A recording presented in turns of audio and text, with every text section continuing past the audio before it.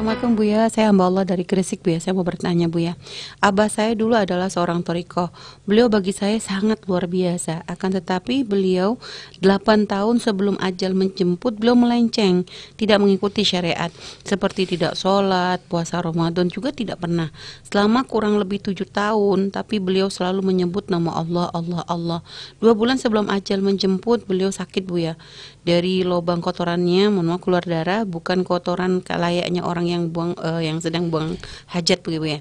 Tapi beliau sangat sabar dalam menjalani itu semua. Dan dua hari sebelum meninggal, abah saya pergi di antara muridnya untuk ke pesarean Sunan Derajat Lamongan. Bagaimana penjelasannya Bu ya? Terima kasih Bu ya.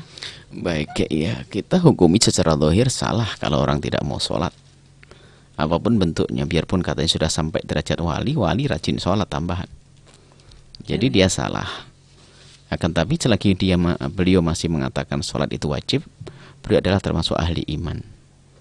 Jadi tidak boleh kita katakan murtad ya.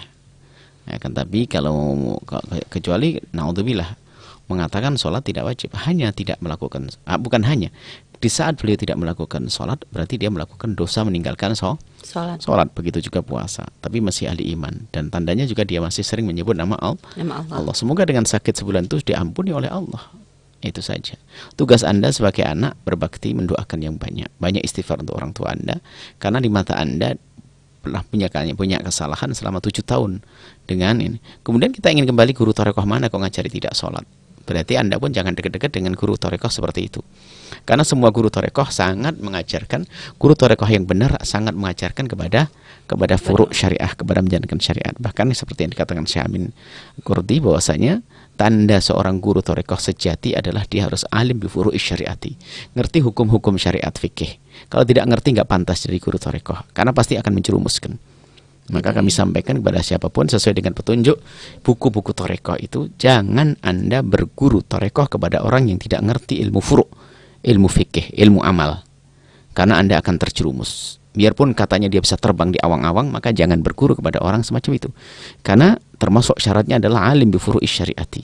Karena mereka akan menghantarkan kepada Allah guru-guru ini maka menghantarkan kepada Allah dengan a, amal. Dan amal harus dengan benar. Kalau tidak ngerti ilmu amal maka bagaimana dia akan menghantarkan hamba kepada Allah? Maka adanya pendusta-pendusta. Maka hati-hati dalam berguru juga. Baik. dan tadi Bu ya katanya sebelum meninggal sakit Allah dan sabar semoga sakit ini menjadi sebab diampuni oleh Allah. Karena beliau ahli iman insya Allah bisa jadi kesalahan itu bukan karena dianya, karena gurunya yang salah. Dia terjerumus, bukan dia menjerumuskan diri. Dia kepleset, salah berguru. Nah, maka yang beban yang paling besar ya gurunya tadi.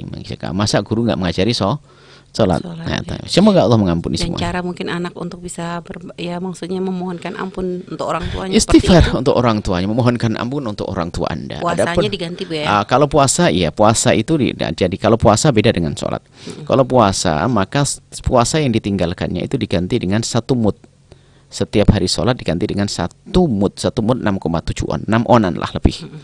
Uh, dikalikan berapa berapa bulan dia tidak puasa Ramadan. Kemudian kalau memang tidak punya uang, Anda kodoin keluarganya mengkodoi. Ini kalau puasa. Kalau sholat, pendapat yang pertama adalah nggak diapa-apain. Dalam madhab syafi'i, kita tidak keluar dari madhab syafi'i karena kita di Indonesia. Bagi yang meninggalkan sholat, maka tidak dikodoi oleh anak-anaknya dan juga tidak dibayar oleh anaknya. Pendapat yang pertama. Pendapat yang kedua adalah dibayar fidyah, disamakan dengan puasa. Artinya satu sholat dibayar 6,7 on atau 6 on setengah lah kurang lebihnya. Maka ini satu sholat yang ditinggalkannya. Kemudian pendapat yang ketiga, ini pendapat yang ketiga, mungkin dia tidak punya uang untuk mengkodok, membayarnya, membayar fitiah, maka bisa dikodok oleh keluarganya. Ini pendapat ketiga di dalam madhab Imam Syafi'i. Ini adalah pendapat ya. Kalau anda tidak punya, tidak punya dan tidak mampu, nggak diapa-apain. Karena pendapat yang pertama tidak diapa-apain, tidak dikodok, tidak dibayar fitiah tapi tetap kita dengan kondisi tadi uh, apa yang dilakukan oleh ayahnya gitu tetap harus berprasangka baik bahwa berprasangka baik. Semoga Allah mengampuni. Adapun kepergian ke tempat wali dan sebagainya ya kalau ziarah wajar saja nggak ada masalah. Orang ziarah wali kasih Allah. Hmm. tadi dengan derajat dan sebagainya. Mungkin kalau kami tangkap apa dari bertanya mungkin ingin memberikan apa kata termasuk sul khotimah atau min husnul khotimah insyaallah. husnul khotimah. Husnul khotimah masih menyebut nama Allah Allah Allah Allah. Kemudian juga dengan sakit insyaallah husnul khotimah. Baik biar terima kasih biar atas jawabannya